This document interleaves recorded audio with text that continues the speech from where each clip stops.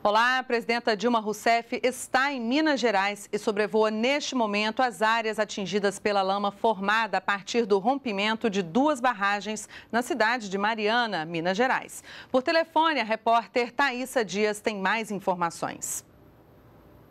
A cidade de Mariana, em Minas Gerais, é o local onde as duas barragens da mineradora Samarco se romperam e iniciaram o vazamento dessa onda de rejeitos de mineração. Depois do sobrevoo, a presidenta Dilma Rousseff vai para Governador Valadares, outra cidade mineira bastante atingida pela lama.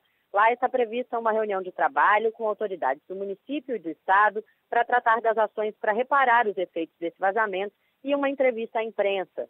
Por volta de uma e meia da tarde, ela deve chegar aqui em Colatina, no Espírito Santo, onde também tem reunião de trabalho.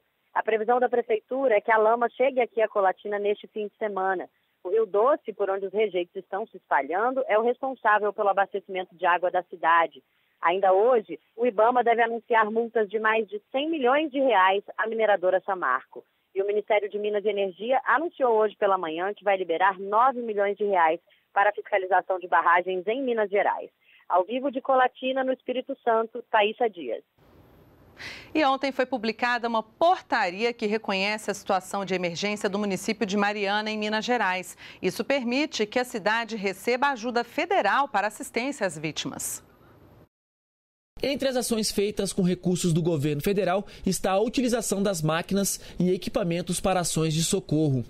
Nós estamos trabalhando em conjunto, governo federal, governo do estado e os municípios diretamente atingidos, para que nós possamos reduzir os impactos e mitigar aí é, o, o bem-estar das populações que foi comprometido com, as causas desse acidente. Segundo nota do IBAMA, a estimativa é que pelo menos 50 milhões de metros cúbicos de rejeito de mineração sejam despejados em diversas comunidades da região e também no Rio Doce, por onde a lama avança. Essa quantidade é o suficiente para encher 20 mil piscinas olímpicas. A ministra do Meio Ambiente afirmou que esse acidente tem grandes impactos ambientais. Um desastre de dimensão catastrófica, é uma catástrofe ambiental.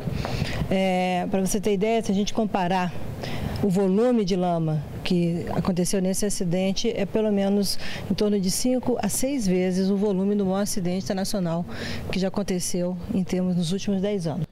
A ministra falou também sobre a possibilidade de punições às mineradoras. Eu tenho que verificar as condições. Obviamente, o IBAMA está monitorando tudo, o IBAMA tem relatórios, tá vai fazer relatório de dano, etc, etc. Se couber aplicação de multa por parte da área federal, nós aplicaremos. Nós seremos rígidos, não tem essa história de achar que a pessoa não pune, etc. Vai ter punição, tem que, pela legislação brasileira, restaurar ambientalmente, terá que fazê-lo. Agora, nós teremos que, obviamente, teremos que entender todo o processo e eu não tive acesso ainda às informações do licenciamento ambiental. Ainda segundo a nota do IBAMA, esse rejeito não é tóxico. Mesmo assim, o meio ambiente vai sofrer impactos. A qualidade da água nos locais atingidos vai ser alterada. Ela deve ficar mais escura e apresentar elementos sólidos na superfície. Também é esperado que haja mortes de animais terrestres e aquáticos nos locais atingidos por asfixia. O subsecretário de Gestão e Regularização Ambiental Integrada de Minas Gerais explica que está sendo feito monitoramento para avaliar a qualidade da água.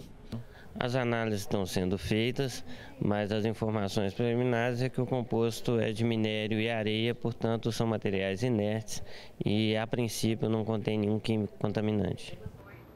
E nós podemos voltar a qualquer momento com outras informações. Continue com a gente, NBR, a TV do Governo Federal.